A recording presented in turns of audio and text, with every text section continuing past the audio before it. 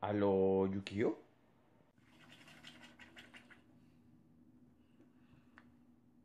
Aló, Yukio. ¿Qué hace una abeja en un gimnasio? No sé. ¡Zumba!